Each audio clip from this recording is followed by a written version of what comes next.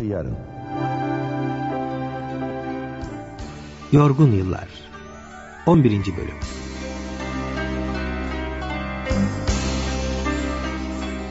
Yapım Mehmet Köseoğlu.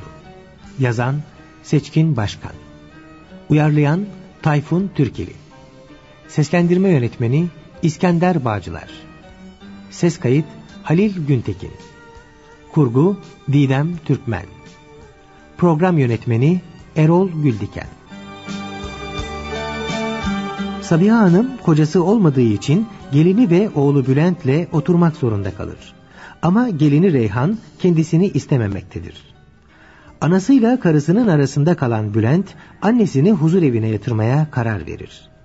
Huzur evine yatırılacağını oğlundan duyan zavallı kadın yıkılır ama oğluna hissettirmez. Sevinmiş gibi gözükür. Ne var ki Bülent son anda çıkan bir aksilikten dolayı annesini huzur evine yatıramaz. Ama yaşlı kadın oğlunla gelinine fazla geldiğini anlamıştır. Bir sabah valizini alarak birkaç gün önce parkta tanıştığı kendisi gibi kimsesiz bir kadın olan Muazzez Hanım'ın yanına gider ve onun evinde kalmaya başlar. Bu arada hayatını kazanmak için de dantel işi yaparak satmaya başlar. Ama Sabiha Hanım'ın bu mutluluğu fazla sürmez. Oğluyla tartışan Muazzez Hanım'a felç gelir ve yatalak kalır. Öte yandan Bülent, karısı Reyhan'ın sorumsuz istekleri ve alıştığı kumar hastalığı yüzünden borç batağına saplanmaya başlamıştır. Her gece sabahlara kadar içki içip kumar oynamaktadır. Bu yüzden çalıştığı şirketten ayrılarak Refik Demir adında bir bankerin yanına yüksek ücretle girer. Ama huylu huyundan vazgeçmez misali kumara iptila olan Bülent artık kumar masalarının vazgeçilmez adamı olmuştur sık sık kaybetmektedir ve çalıştığı bankerlik şirketinden avans diye çektiği paraları da kumara yatırmaktadır. Şirkete olan borcu 7 milyarı bulmuştur.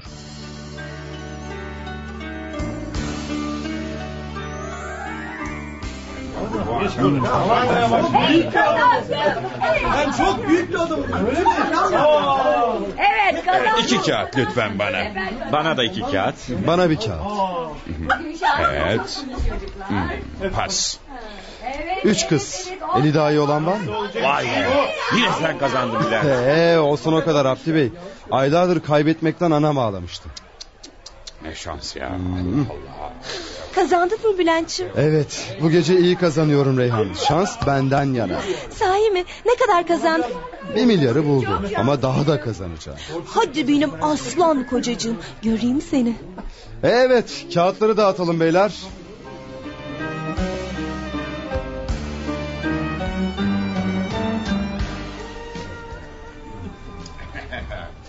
Evet. Neyim var Bülent Bey? Üç papaz. Ha, bende de dört ast.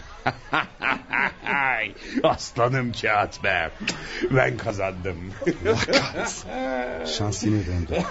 Ee, beyler miktarı biraz yükseltelim mi? Ne dersiniz? Yükseltelim yükseltelim değil mi? Güzel. Tamam. O halde partiyi 500 milyondan açıyorum. Kabul mü? Kabul. Kabul. Da, dağıt kağıtları. Dağıtalım. Evet. Benden pas.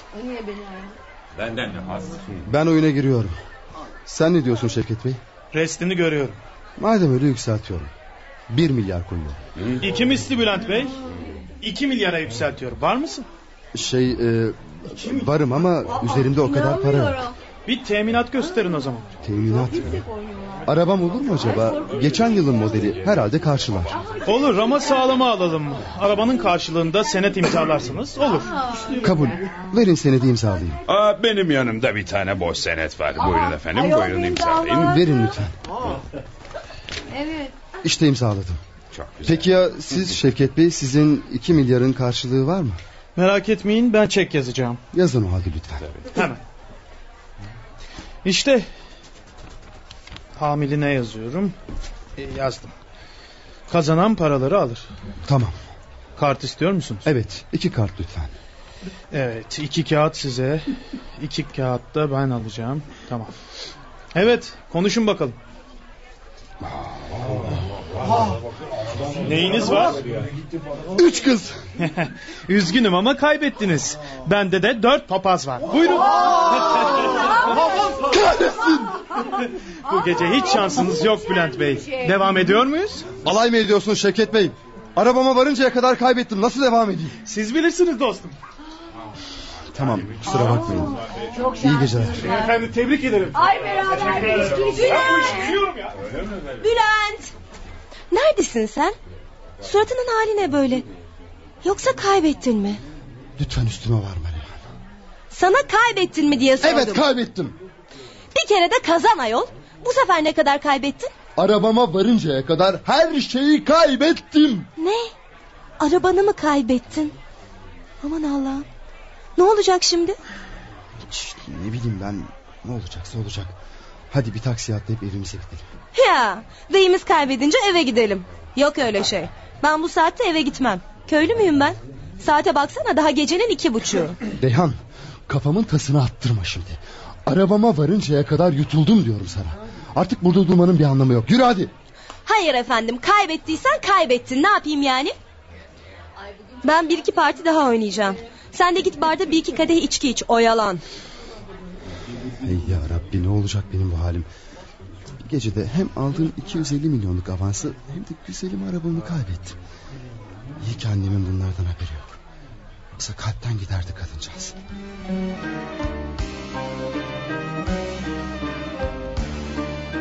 Nasılsın Muazzez Hanım? Daha iyicesin ya. İyiyim. Aman maşallah maşallah. Dün gece düşümde kötü şeyler gördüm. Oğlum sıkıntıda galiba. Ana yüreği hissediyorum bunu. Telefon açayım değil mi? Haklısın. Ne yapayım hem kızıyorum hem seviyorum. Anayım ben Muazzez. İnsan doğurduğu yavrusunu kötü de olsa unutabilir mi? Canım bir şey istiyor mu? Gelirken getireyim mi sana? İstemem olur mu canım? Meyve alırım sana elma ile muz. Ben telefon açıp geleyim emin.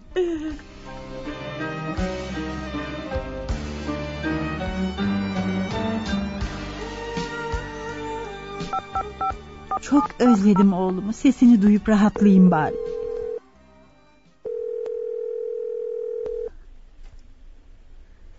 Alo. Kızım rahatsız ettim. Ben Bülent Bey'in annesiyim. Kendisiyle görüşebilir miyim acaba? Bülent Bey bizim şirketten ayrıldı teyzeciğim. A- a- ayrıldı mı ne zaman? Bir ay kadar oluyor. E peki nerede? Nereye gitti biliyor musunuz? Valla bir bankerlik şirketine mi ne girmiş öyle diyorlar. E, Peki yeni işinin telefon numarası var mı sizde? Hayır yok. Ya peki kızım rahatsız ettim. Hay Allah neden ayrıldı ki bu çocuk işinden? Çalıştığı yeri pek met ederdi. Bir şey mi oldu acaba? Allah'ım aklıma kötü şeyler getirme ne olursun. Ne yapacağım şimdi? Acaba evini mi arasam? E peki ya telefona gelin hanım çıkarsa? Üf, çıkarsa çıksın başka çare yok evinden arayacağım. İnşallah telefona oğlum çıkar. Alo. E, şey Alo kimsiniz? şey Reyhan kızım benim Sabiha annem. Vay vay vay. Bizi aramak nereden geldi aklınıza hanımefendi? Ne istiyorsunuz? E, Bülent'i aradım kızım işinden ayrılmış da merak ettim. Acaba Bana bak durup durup arıyorsun bizim huzurumuzu bozuyorsun. Çekip gittiğin yerde otursana rahat bıraksana bizi. ama kızım ya... Yoksa parasız mı kaldın ha? ha tabii mutlaka öyle oldu ki aradım değil mi? yok vallahi kızım benim param var ben Rahat bırak bizi. Bülent'i de merak etme. Çünkü sen onun umurunda bile değilsin. Tamam mı? Bir daha arama bizi. aman Allah'ım aman Allah'ım. Ben ben ne yaptım bu kadar hakaret işitmek için Allah'ım. Onlar tek mutlu olsunlar diye çekip gittim yine de istemiyorlar beni. Hayır hayır üzülmemeliyim. Kuvvetli olmalıyım. Muazzez'in haline düşmemeliyim. Bana da bir şey olursa sonra ne olur halimiz?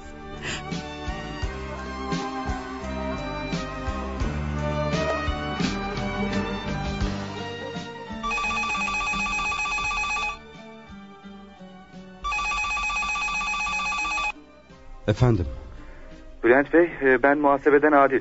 buyurun Adil Bey. Az önce Refik Bey aradı. Hangi Refik? Hangi Refik olacak? Patronumuz Refik Demir. Aa, öyle mi? Peki sonra? Sizi evinde beklediğini söylememi istedi benden. Tabii ne zaman? Hemen. Tamam birazdan giderim. Allah Allah. Patron beni evine niye çağırdı ki acaba?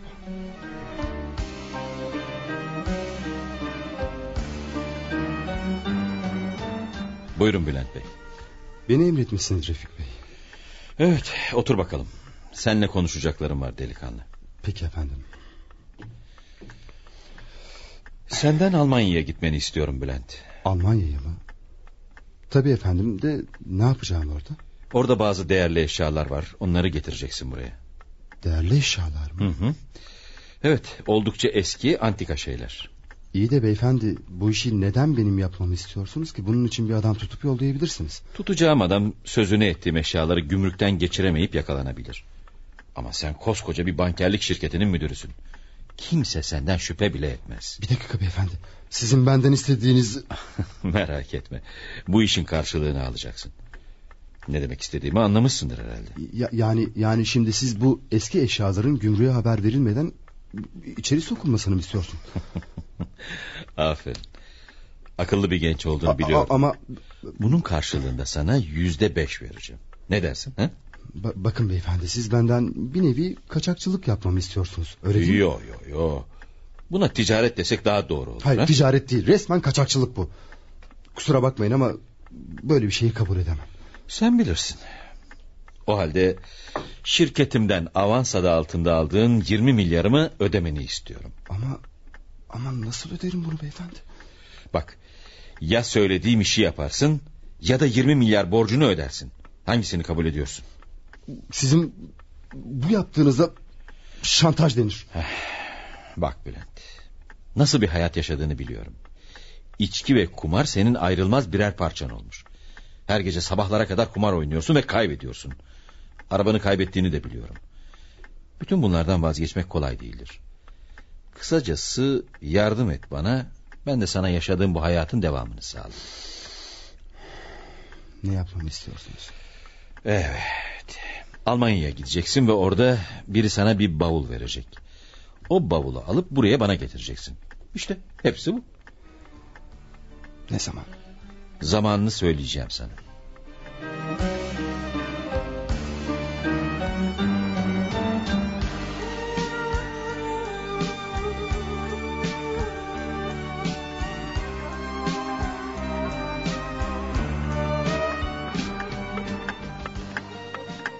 Sorma Muazzez. Çok canım sıkıldı. Keşke oğlumu aramak için telefon etmeseydim.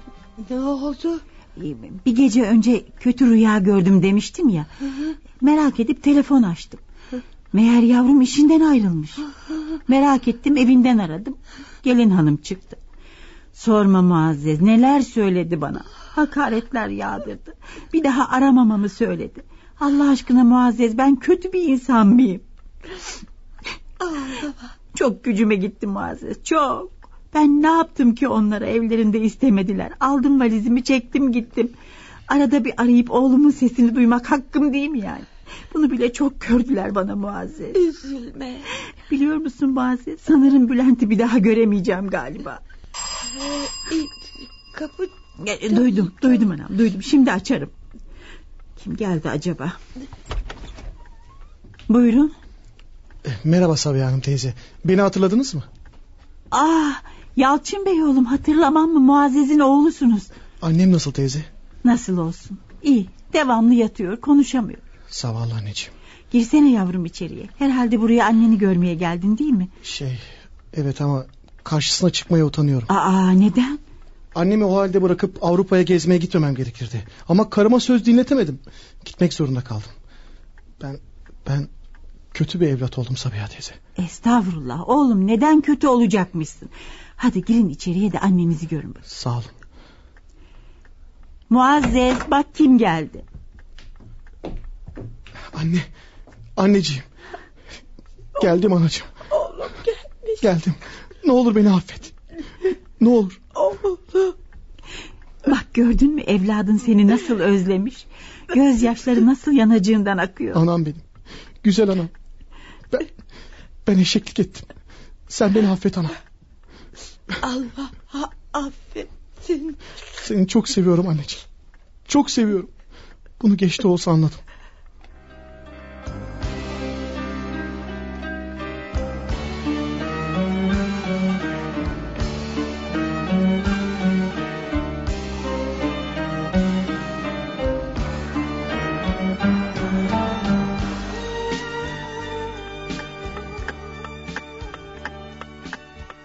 Aa, kocan Almanya'ya mı gidiyor? Evet anneciğim. Ay nereden çıkmış şimdi bu Almanya işi? Seni de götürsün yanında. Takıl peşine kız. Alışveriş edersin fena mı? Aman anne iş seyahatiymiş gidip de ne yapayım? Hem ben de güneye tatile gitmek istiyorum. Eh sen bilirsin. Geçen gün Bülent'i kim aradı biliyor musun? Kim? Anası. Ee, esas haber bu kız. Neden daha önce söylemedin? Ne istiyormuş? Ne bileyim ben. Bir şey istemesine fırsat vermedim ki icabına baktım. Ağzıma geleni söyledim. Sonra da kapattım telefonu suratına. Peki ne dedi ne dedi? Bülent'in işten ayrıldığını öğrenmiş. Bu adam annesiyle görüştüğünü benden saklıyor anne. Mutlaka o kadına para da veriyordur. Haram olsun ona. Ne sanıyordun ya? O moruk tek başına nasıl yaşayacak yoksa? Bak kızım gözünü dört aç. Kocan para sıkıntısından borçlarından bahsediyormuş. O kadar para nereye gidiyor sanıyorsun? Anasına tabii. Kim bilir ona ev bile tutmuştur. Dayayıp döşemiştir. Gözünü aç. Senin de hakkın var ne istiyorsan yaptırt. Yaptırtacağım tabii. Yaptırmaz olur muyum? Peki anasının aradığını Bülent'e söyledin mi? Ay deli misin? Hiç söyler miyim? Söylemedim.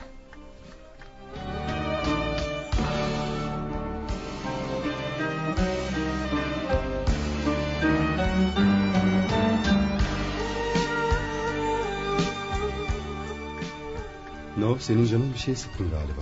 Ne oldu? Yok bir şey. Ben de tatile gitmek istiyorum Bülent. Tatile mi? Evet. Güney'e. Havalar iyice ısındı. Olur gideriz hayatım. Şu Almanya işini bir halledeyim de. Yok canım. Sen Almanya'dayken ben evde oturup senin dönmeni mi bekleyeceğim? Olmaz öyle şey. Ben önden giderim sonra da sen gelirsin. İyi ama karıcığım tek başına ne yapacaksın orada? Hem evli bir kadının yalnız başına tatile çıkması yakışık almaz ki. Nedenmiş o? Sen Almanya'da yalnız başına ne yapacaksan ben de tatil köyünde onu yapacağım. Hem ne varmış tek başıma gidersem? Yemezler ya beni. Allah aşkına bu sofulukları annenden mi öğrendin? Tamam hayatım tamam. İstediğin gibi olsun git. Heh, şöyle yobaz yobaz düşüncelerden vazgeç. Bana sökmez. Modern ol biraz. Aa, bu arada Almanya'dan dönünce sana istediğin o pırlantayı da alacağım. Sahi mi söylüyorsun Bülent? Canım benim canım.